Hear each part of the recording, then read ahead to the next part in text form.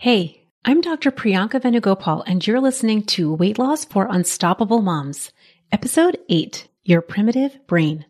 Today's episode is an exploration of how you think and the two parts of your brain that are driving every part of your life. They play a massive role in the results that you're creating for your body and the scale. If you want to reach your ideal weight and create lightness for your body, you need to have simplicity, joy, and strategic decisions infused into your life. I'm a physician turned life and weight loss coach for ambitious working moms. I've lost over 60 pounds without counting points, calories, or crazy exercise plans. Most importantly, I feel calm and light on the scale and in my life. There's some delicious magic when you learn this work and the skills I'm going to be teaching you. Ready? Let's get to it. Hey, hey, unstoppable friend, how are you? Seriously, how are you doing? I have had better days. I just got back from blocking off my morning to watch my son's musical show at school. Now, he's six and a half, but he is already a musician through and through.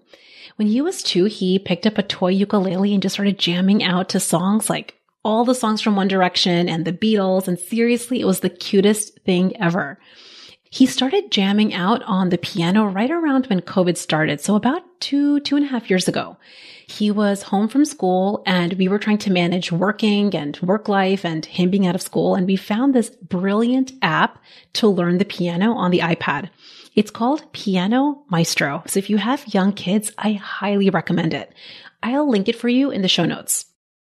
Over six months, just using this app and the piano keyboard that we have, he taught himself how to play the piano. I mean, it's seriously pretty mind blowing. And I don't know where he gets his musical talents from because seriously, I don't think of myself or my husband as particularly musical. But it has been so special to watch him grow and just explore his passion for music, both the ukulele, the piano, and really any form of music. So let me just tell you why my day is only going all right. I blocked off my morning to go to his school for this musical show. And I'm thinking, you know, my kid's a musician. this is going to be so good. Especially with the last two years, I barely have gotten to see him in school. I haven't gotten to go to like, you know, back to school nights and all of that. So I was so excited about this opportunity to go and see him perform in school. So we get there and all of the first graders get up on stage and my kid was the only one that starts doing all kinds of shenanigans. He starts like shuffling around and he starts covering his face with his mask. And all the other kids are like following along with the instruction. They're all singing their songs and doing the cute hand gestures. And he was the only one on stage shuffling side to side, covering his face. Now I had probably more than two simultaneous emotions flood me at the same time. I felt worry, like, what's going on for him? I felt embarrassed. Like, what are other people thinking? I felt annoyed. I'm like, he knows better than this. And then I went back to worry and concern. Like, what's up with him? I felt a flood of all of these emotions at the same time while also holding it together. Here's the thing. Because of this work that we're doing that I'm sharing with you here on this podcast, I could just watch myself. I watched myself experience worry, embarrassment, annoyance, concern all at the same time. I could see and observe all the sentences that were pouring through my mind, many of them reflexively entering without really conscious effort. What's going on for him? Is he okay? Oh, why is he doing that? None of the other kids are doing that. I wonder what the other parents are thinking. This is just a flavor of the many, many thoughts that were flooding my brain. I'm not saying that I didn't feel the terribleness in my body while I observed these sentences. I felt a deluge of worry, concern, embarrassment, and annoyance. And let me tell you, feeling these emotions is not a party. But I'll also tell you this. I also knew that many of these reflexive thoughts, because I was practiced at observing them, was also coming from my most primitive thinking. I was feeling terrible because I was feeling this combination of worry and embarrassment and annoyance and concern. But I could also see that it was happening because of my primitive thinking. Yeah, he was just doing some things. He was shuffling around and not really singing the songs and not doing what the other kids were doing. But the reason that I was feeling terrible is because I had many, many, many thoughts about him. Here's the thing. When we are in situations like this where our kid, our partner or spouse, or even ourself, when we're doing something that we don't love, or when we see someone else doing something that we just don't love, we have these many reflexive thoughts. But then we also add on a layer of judgment. And that's what makes it worse. We judge the terrible. We judge the kid for their actions or judge ourselves as the mom for having the thoughts. It sounds like I shouldn't feel this way. He shouldn't be that way. I wish it wasn't this way.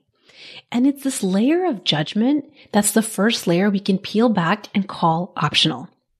That's why even though I was feeling terrible with the worry and the concern and the annoyance and the embarrassment, I didn't allow myself to add layers of judgment on top. So that's why I would say I'm doing all right this morning because yes, I had all the feels, but I didn't spend any time judging myself or him for a moment. And here's what this practice and what we're going to be talking about in today's episode is going to help all of us uncover. I can feel all of those feelings because of my primitive thinking. And because I'm not going to judge it, criticize it, shame it, or blame it, I can give myself a little moment to just open up access the love that I have for him, and maybe tap into curiosity and compassion. I wonder how he was feeling. I really wonder what was going on for him without any judgment, just being open to hearing from him. Here's the funny thing.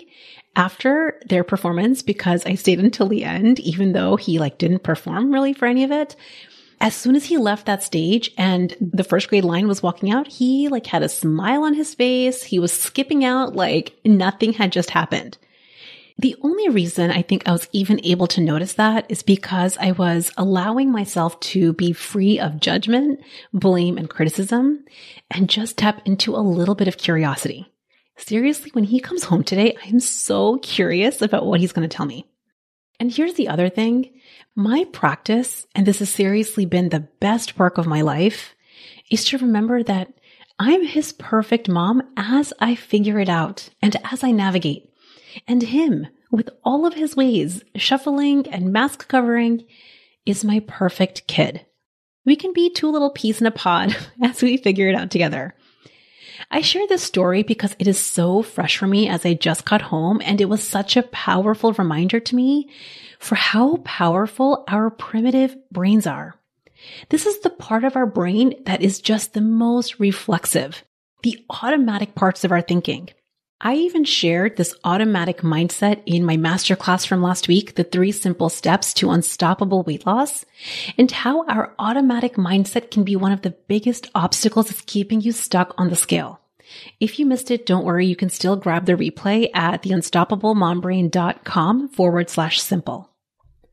Our automatic and reflexive responses come from long standing patterns, which were initially created by your primitive brain, likely when you were a really young child. These reflexive, primitive parts of our thinking really are just designed to help us survive. That's where our primitive brain has come from. She's always scanning. She's paying attention for danger. She's watching out to make sure that things are not going wrong. She wants to make sure that you don't get kicked out of the herd. She wants you to survive. Even this morning, my reflexive responses initially came from my son acting differently than the other kids. My primitive brain reflexively started screaming, whoa, whoa, whoa, whoa, what's going on? Why is he acting different? This is bad. It's because our human brains have a natural and normal desire to belong, and it's rooted in survival. I want to highlight the power of your primitive brain when you're not aware. Because when you're unconscious to these different levels of thinking, it's very easy for your primitive brain to start acting like the driver of your car. And the car is driving your life. Before you become really conscious of your primitive brain and your more evolved prefrontal cortex, you might have had these reflexive thoughts and just believed that there's a serious problem happening. The reason that this matters, and it matters to really understand the difference between your primitive thinking and your more evolved, brilliant brain, is because your primitive thinking plays a very strong role in your weight loss as well.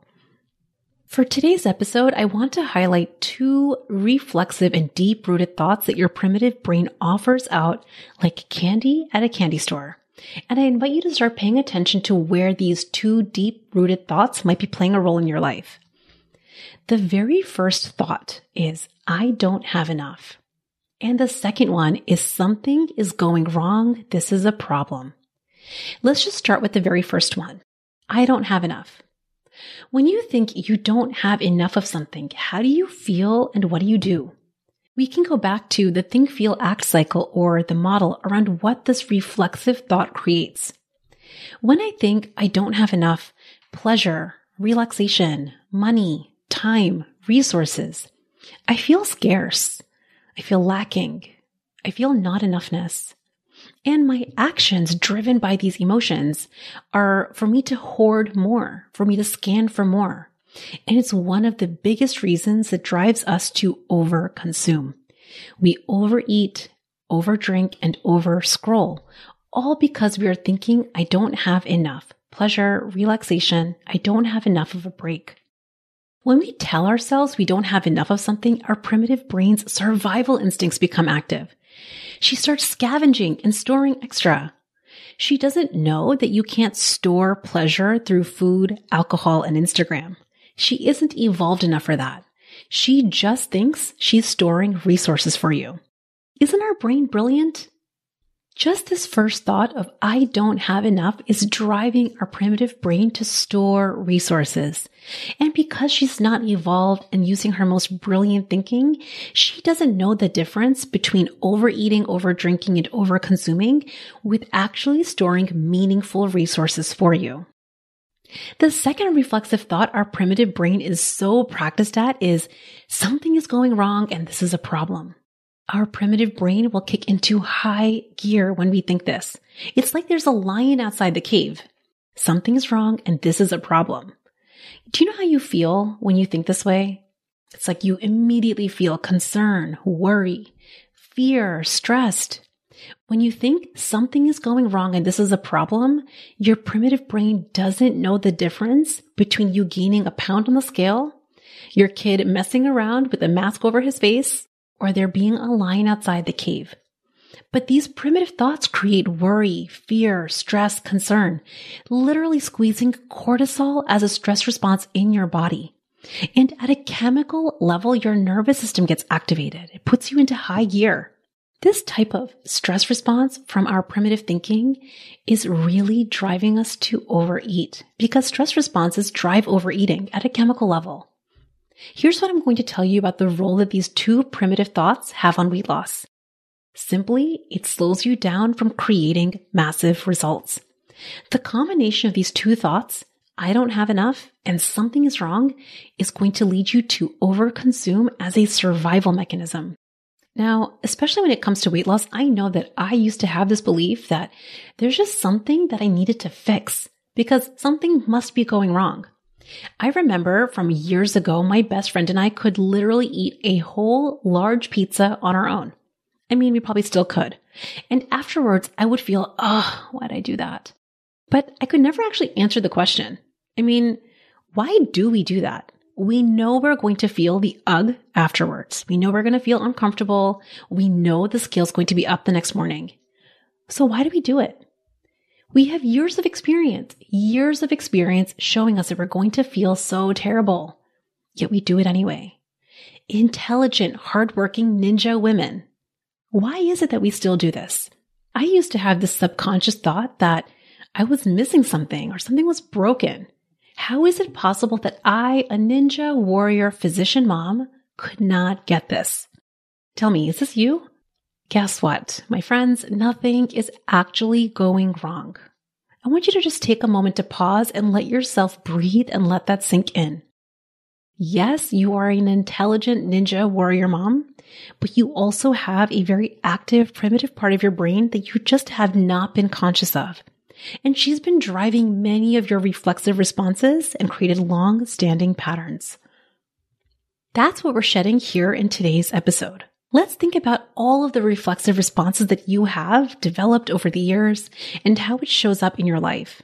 Just remember, these thoughts are trained and strengthened, but let's bring some awareness to them. The reflexive no, the reflexive not enough, the reflexive I need more, the reflexive this might not work, the reflexive this might fail, the reflexive what if something goes wrong. These thoughts are optional and they're operating from your primitive brain. And it just means that when you're operating from this place that you're not able to access your most brilliant and evolved part of your thinking. This is why you can be a brilliant ninja mom, accomplished with all of your amazing hard earned results, and also have reflexive responses that drive you to overeat, overdrink, and overscroll. So while you could be a completely brilliant human, when you're operating from this primitive thinking, you're not creating your most brilliant results. It's how you can be brilliant and at the same time overeat to the point of discomfort. Overeating is always, always, always coming from your primitive brain. Because when you're not hungry, your body never wants to actually overeat. The only reason that you ever overeat is because your primitive brain is striving. So good to know, right? I'm going to share two tangible steps that you can start taking today so that you can start shifting gears from your primitive brain to your more evolved prefrontal cortex. The first step is just to notice when you're thinking these two practice thoughts. I don't have enough pleasure, relaxation, enough of a break. And something is going wrong. This is the problem. Just starting to pay attention and bring awareness to how often, when, and where you're thinking these two familiar thoughts is going to create so much awareness around what's driving the car. Because when you're thinking, I don't have enough, or something is wrong, just remember you're going to be operating from scarcity, lack, fear, and stress. And these emotions are going to drive you to overconsume. The second step when you notice these thoughts is just to remind yourself this is just my primitive brain. That's all. I'm only feeling this scarce, lack, fear, stress because my primitive brain is active right now. Just implementing these two steps today, noticing and reminding yourself that this is normal patterning is going to make you so much more conscious in your day to day life we don't have to operate from our primitive thinking anymore. Now that you know how to spot her and become aware of her, just know you're always operating from the think, feel, act cycle. Primitive thoughts like I don't have enough or something is going wrong creates primitive feelings like scarcity, lack, fear, and worry, which drives primitive actions of overconsuming and storing resources. Just remember that these are practiced and deeply grooved in your brain, and that's okay. Just becoming aware of these is going to start to free you from them. It's like up until now, when your primitive brain was driving, you didn't really know what was happening. And now you're going to notice. And remember, let's not judge, criticize, blame, or battle with these reflexive voices anymore. I promise you, just noticing these thoughts with compassion and love is how you get to release its hold. And then we get to work accessing your most brilliant and evolved thinking. So the next time you hear, I don't have enough or something's going wrong, I want you to notice and engage. Hey, I hear you. Thanks for looking out for me. I love you so much. Can you imagine actually talking to yourself the next time you feel scarcity, worry, fear, or stress? It's how you start the practice of relaxing your nervous system because the worry, fear, and stress might still be there, but she's not driving the car anymore. It's like my morning. I felt all the feels, but I also remembered I'm okay. He's okay. We're okay. I can take a deep breath here. I don't have to hold my breath anymore. There's no lion outside the cave. I could feel all of the feels, the worry, the concern, the annoyance, the embarrassment, but I could let my nervous system relax. I could make some space for some more brilliant, evolved thinking to problem solve. This is how we get to access problem solving that pound gained. When your kid is doing his kid things. Whenever you have a perceived result that you want different than what is. This is how we access becoming curious to challenge old patterns by asking powerful questions. And we want our most brilliant evolved thinking to answer. This is what we do inside the Unstoppable group, where I coach working moms who want to feel lighter on the scale for their body and their life. We are curious. We challenge old patterns by asking really powerful questions and then learn the skill of pivoting powerfully to brilliant thinking. Here's the thing to create any big result in your life, reaching your dream, delicious ideal weight, creating more time, more money, or healing relationships takes your most brilliant thinking. Primitive thinking, which was designed and rooted in scarcity, is only going to create rooted scarcity results. It can never create thriving results, which is what we're striving for inside Unstoppable. You deserve thriving results, my friend. And it starts with catching where you've been operating from. I would say before I became conscious of there even being a difference, I had no idea what part of my brain I was even operating from.